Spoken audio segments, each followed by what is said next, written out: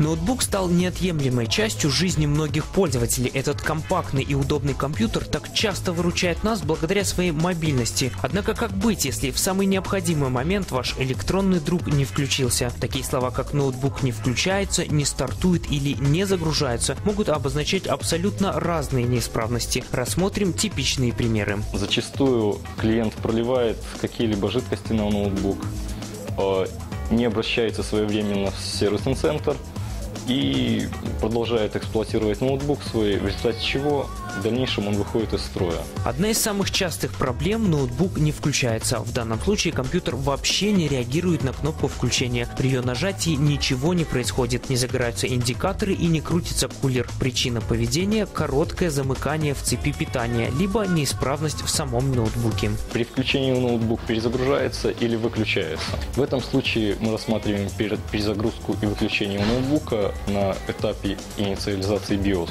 Симптомами могут быть э, загоревшиеся индикаторы на несколько секунд. Кулер может как крутиться, так и не крутиться в вашем ноутбуке.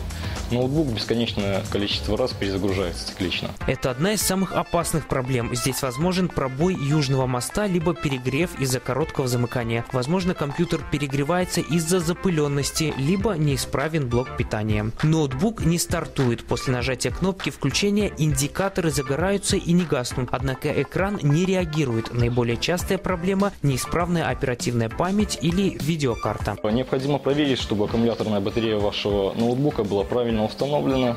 Необходимо извлечь э, все носители информации из USB-портов, из каких-то накопителей. Специалисты не рекомендуют самостоятельно пытаться устранить столь сложные поломки. Если вы столкнулись с подобной проблемой, лучше обратитесь к профессионалам по ремонту компьютеров.